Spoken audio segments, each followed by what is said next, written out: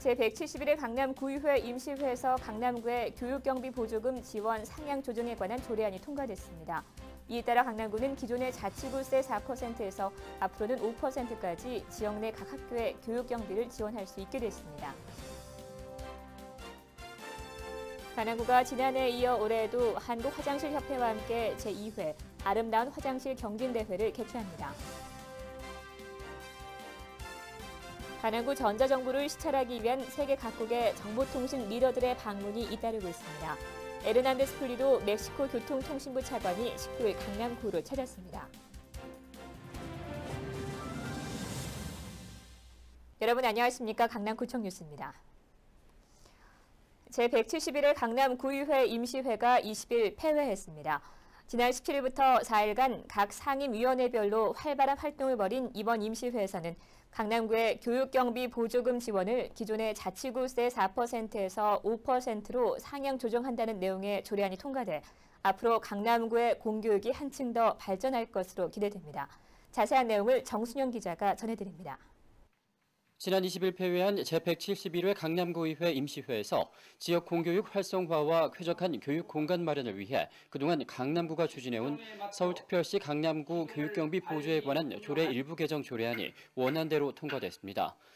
이로써 현행 자치구세의 4%인 교육경비 보조금 보조 기준액 범위가 5%로 확대 조정돼 앞으로 학교 시설 개부수와 어린이 영어체험센터 설치 등 지역 내 학교들의 교육 환경 개선을 위해 쓰여질 전망입니다. 이는 교육 발전 없이는 지역 발전도 없다는 교육의 중요성과 교육 환경 선진화 및 공교육 활성화에 기여하고자 제출된 안건으로 상위 법령에 위배되거나 저촉되지 않는 것으로 판단되며 지난 20일 임시회 최종 본회의 안건 처리 전 질의 시간을 통해 의원들은 교육경비 보조금의 사용처와 서울시의 보조금 지원 비율에 대해 물었습니다.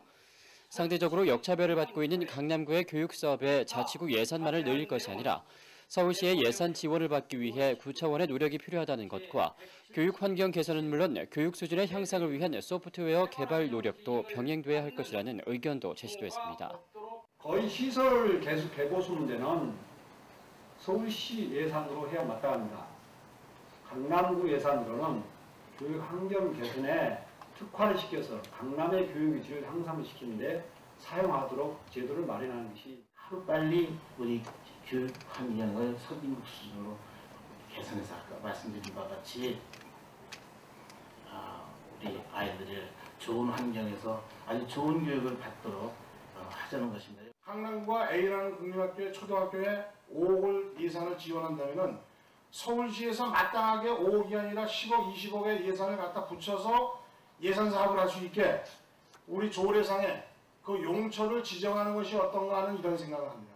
서울시로부터도 어, 예산을 많이 확보하도록 노력을 하고 또 교육 시설 개선뿐이 아니라 교육 내용 을 업그레이드 시키는 데도 하여튼 최선의 노력을 다하겠습니다. 한편 이날 본회의에서는 서울특별시 강남구 공중화장실 설치 및 관리 조례 일부 개정 조례안이 수정 가결되기도 했습니다.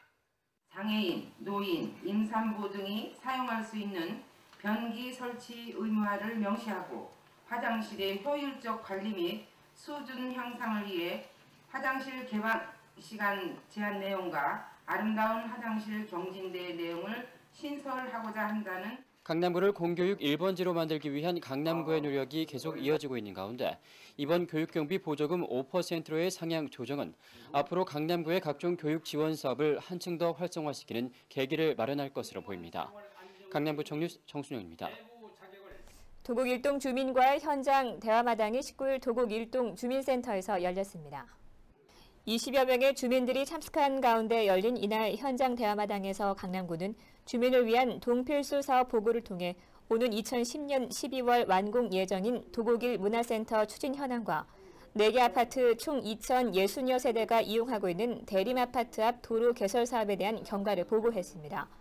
또 군은 이날 주민과의 현장 대화 시간에 매봉터널 방음벽을 설치해달라는 주민 의견에 대해 보도와 차도를 분리하는 공사를 금년 완공을 목표로 추진하고 있다고 밝히고 절개지 인공폭포 조성 사업의 착공 시기와 관련해서는 서울시와 협의를 마치는 대로 도곡 군림공원 조성 사업과 함께 2009년 공사를 완료할 계획이라고 밝혔습니다.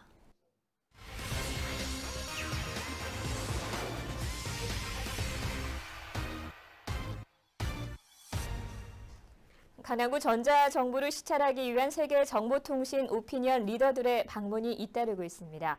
에르난데스 풀리도 멕시코 교통통신부 차관이 19일 강남구를 찾아 강남구의 전자정부를 체험했는데 멕시코에도 이 같은 시스템이 정착되면 얼마나 좋을까 하는 바람을 나타냈습니다. 앵커 리포트입니다. 지난 5월 16일 강남구는 미국 뉴욕에서 열린 ICF 글로벌 정부와 도시 컨퍼런스에서 2008 올해 정부와 도시상을 수상했습니다. ICF는 정부와 사회 포럼으로 각국의 정부와 도시 수준을 평가하는 기관. 강남구는 2006년부터 올해까지 3년 연속 세계 7대 정부와 도시로 선정되었으며 특히 올해에는 세계 최고라는 타이틀을 거머쥐었습니다. 지금까지 전자정부를 벤치마킹하기 위해 강남구를 방문한 세계 각국의 정보통신 관계자와 공무원 수만도 60여 개 나라 2,700여 명. 이런 가운데 19일 에르난데스 폴리도 멕시코 교통통신부 차관이 강남구를 찾았습니다. 맹정주 강남구청장은 안방에서 TV로 민원 서류 발급과 세금 납부가 가능한 TV 전자정부, 전국의 수험생이 인터넷으로 신청하는 강남구청 인터넷 수능방송, 독거 어르신을 대상으로 한 안전 확인 시스템 등 강남구의 전자정부를 소개했습니다. 고등학교에서 대학교 들어가면 입시난이 굉장히 심한데 아, 이런 전자정보 시스템을 통해서 어, 학생들한테 어, 인터넷으로 강의도 하고 있습니다. 에르난데스 프리도 멕시코 교통통신부 차관은 구청 방문 없이 민원 서류 발급이 가능한 강남구 전자정부에 놀라움을 표하며 투입된 예산 규모를 비롯해 서비스 범위, 주민 이용률 등을 질의했습니다.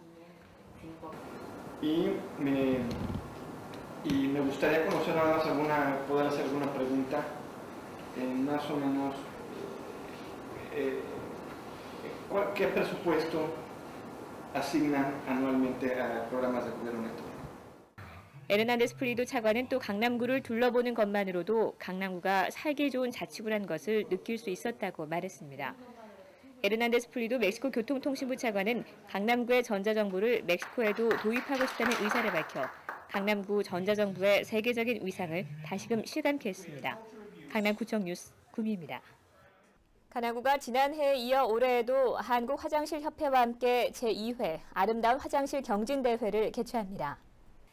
참가 부문은 공공기관, 업무시설, 백화점 등의 화장실로 총 9개 분야에 걸쳐 시설과 문화, 복지 등을 평가 기준으로 서류와 현장 실사를 통해 심사를 실시합니다. 참가를 원하는 시민은 오는 8월 31일까지 강남구청 홈페이지로 인터넷 접수를 하거나 신청서를 다운받아 작성해 강남구청 청소과로 우편 제출하면 됩니다. 우수 화장실로 선정돼 시민들에게 개방할 경우 24시간 개방에는 월 6만 원, 24시간 미만 개방에는 월 4만 원의 지원금이 지급됩니다. 제2회 아름다운 화장실 경진대회와 관련한 자세한 사항은 강남구청 청소과로 문의하면 됩니다. 강남구 상공의 제8기 CEO 아카데미 과정 수료식이 19일 삼정호텔에서 열렸습니다. 강남구 상공회 강남 CEO 아카데미는 지난 2004년 10월 개설돼 지역 경영인들을 대상으로 미래지향적인 비전과 경영 능력을 향상시키는 교육을 실시하고 있으며 제8기 CEO 아카데미 과정은 지난 3월부터 4개월의 커리큘럼으로 총 57명의 수료생을 배출했습니다. 수료식에 참석한 맹정주 강남구청장은 인사말을 통해 지난 5월 지역의 중소기업인들을 위해 강남구 중국 통상 촉진단을 파견 총 5,180만 불의 무역 상담 성과를 올렸다며 해외 마케팅 지원, 월드 IT쇼 기업 홍보관 개설 등 강남구 중소기업인을 위한 다양한 노력을 펼치고 있다고 강조했습니다. 제20회 강남구청장기 국민생활체육 배드민턴 대회가 22일 잠실 실내체육관에서 열렸습니다. 지역 내 15개 배드민턴 클럽 334개 팀 800여 명의 인원이 참가한 가운데 열린 이날 대회는 선수단 입장식을 시작으로 강남 직장운동부 실업팀의 시범 경기 후 토너먼트 방식으로 각 팀별 대항전을 치렀습니다. 특히 강남구는 이날 개회식에서 생활체육 유공자인 매봉클럽 김성민 씨와 진선클럽 홍국기 씨에게 표창패를 수여하고 그동안 강남구 배드민턴 연합회에 기여한 공로를 치하했습니다. 강남구 배드민턴 연합회는 현재 전국에서 유일하게 배드민턴 아카데미 교실을 운영하고 있으며 포일초등학교 배드민턴 꿈나무 교실 운영 등 배드민턴 보급 확산과 생활체육 진흥을 위해 힘써오고 있는 단체입니다.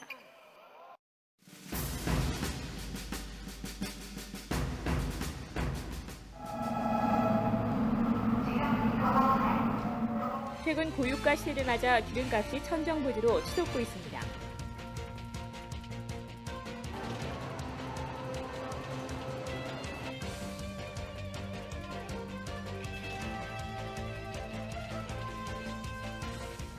어, 조금 정부 차원에서 휘발유 값은 좀 저하더라도 경유 값은 그건 저 우리 저 서민들이 많이 이용하는 거니까 그건 조금 가격을 낮춰줬으면 좋겠어요.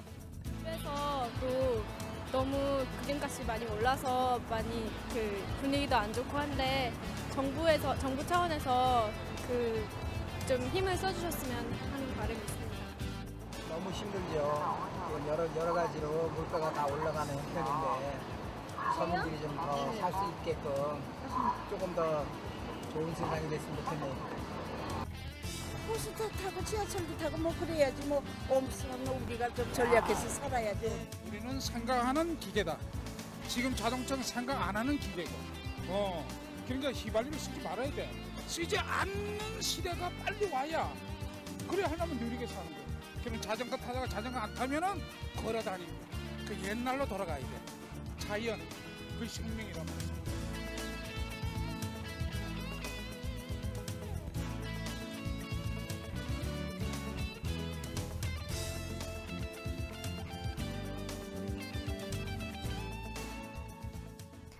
이상으로 뉴스를 마치겠습니다. 시청해주신 여러분 고맙습니다.